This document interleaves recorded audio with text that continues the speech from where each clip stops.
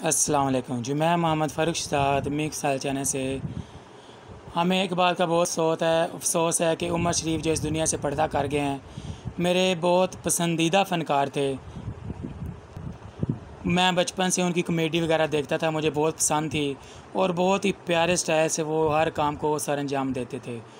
इसके अलावा उन्होंने गरीबों की बहुत खिदमत की, बहुत से ऐसे ड्रामे में उन्होंने काम किया, जो सिर्फ़ सारे पैसे उन्होंने जो हैं, रुपये जो हैं गरीब लोगों की मदद के लिए तावन कर दिया।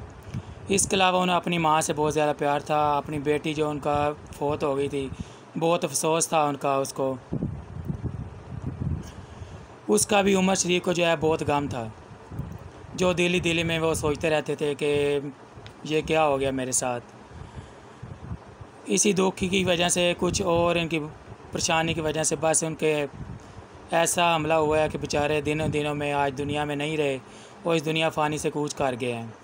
अल्लाह उनको जन्नत फतोज़ में जगह दे और उनके लिए आगे आसानियाँ पैदा करे।